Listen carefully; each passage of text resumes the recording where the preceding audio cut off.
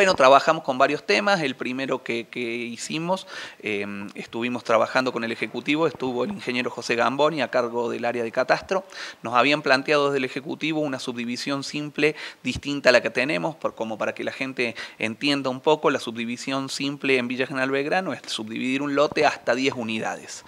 En la provincia hay una subdivisión simple hasta 25 lotes. Entonces, lo que eh, nosotros eh, queríamos es ver de qué manera podíamos más o menos tratar de la misma manera cuando una persona que tiene un lote de gran superficie puede dividirlo entre 11 y 25 lotes. Lo que hemos hecho es que haya un tratamiento eh, un poco diferenciado, digamos, ante la provincia se va a presentar como lote, eh, como subdivisión simple, pero en la municipalidad se le van a hacer algunas exigencias como si fuera un loteo. ¿Qué quiere decir esto? Que se le van a exigir los servicios, que se le va a exigir cordón cuneta, que se le va a exigir también de que se le entregue al municipio el espacio público y el espacio institucional. Siempre que eh, nosotros pensamos en un, nuevo lugar para vivir donde el municipio tenga que prestar servicios, donde las cooperativas tengan que prestar servicios, nosotros tenemos que recibir algo a cambio también, no solamente que sea un negocio eh, la tierra, sino que nos empieza a traer problemas en donde sale dinero para las distintas instituciones de la villa y eso tenemos que empezar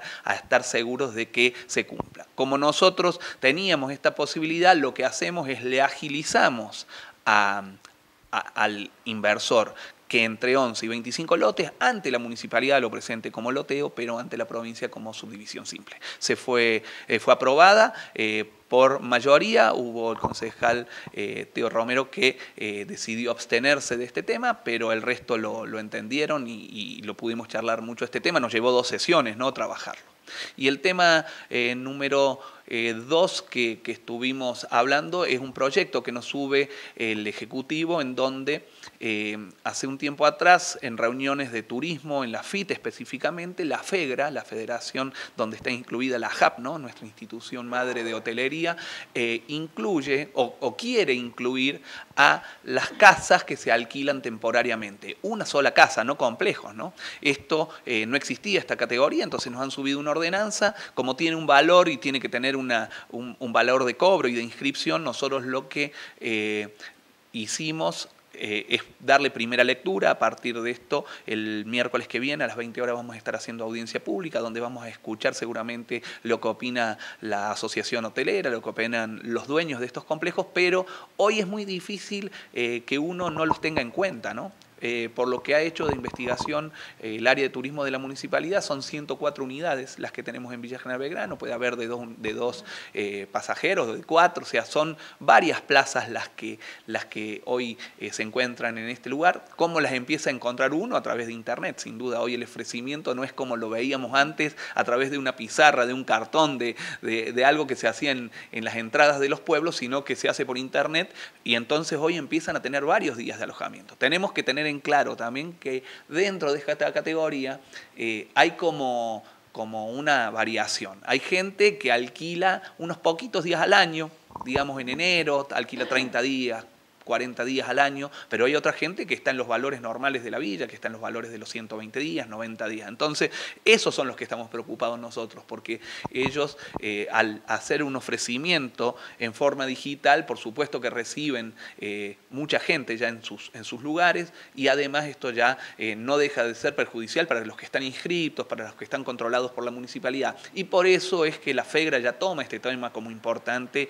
y decide que se apoyen los distintos pueblos pueblos de, la Argentina y ciudades de la Argentina turísticos en estar haciendo de estas ordenanzas. Por supuesto que es la primera lectura en donde la aprobamos todos por unanimidad y ahora trabajarla y ver cuál es la mejor ordenanza que tenemos que sacar. matices entre estas diferenciaciones que usted marcaba, el, que alquila unos pocos días, el que alquila eh, ya como un establecimiento turístico. Y es lo que nosotros queremos. Nosotros no, no nos interesa y desde la Secretaría de Turismo y, la Asociación Hotelera siempre eh, sabíamos de estas pequeñas viviendas que eran utilizadas hace muchos años y, y en realidad se dedican o se, manejan a través del boca a boca, ¿no? pero tenemos que ponernos a, estudiarlo y por supuesto el que, el que haya que inscribirlo porque tiene muchos días al año va a tener que recibir lo, que dice la ley, ¿no? De que paguen servicios comerciales, que paguen monotributo, que estén inscritos como corresponde. Y eso nos va a llevar también a la municipalidad a tener que controlarlos, exigirles matafuegos, exigirles instalaciones eléctricas en condiciones, porque nosotros lo que tenemos que garantizar es que el turista que visita estos lugares se sienta seguro. ¿no? Esto es algo que, siempre nos costó a nosotros, entre lo irregular y lo regular, eh, la gran diferencia que podía llegar a haber. Mucha calidad había muchas veces, pero también estábamos inseguros de lo que eh, se ofrecía, entonces tenemos que salir a trabajarlo. ¿Qué pasó con los otros temas eh, que había en el orden del día? Eh, teníamos una subdivisión, una ordenanza específica que nos pide la provincia por los lotes de la calle de Estados Unidos, lo vamos a trabajar la semana que viene. Eh, se tiene que trabajar por, por, un pedido de la provincia cuando es una subdivisión que, que tiene necesidad el Estado, sea municipal, provincial o nacional, se lleva una ordenanza específica. Entonces eso es lo que nos subieron.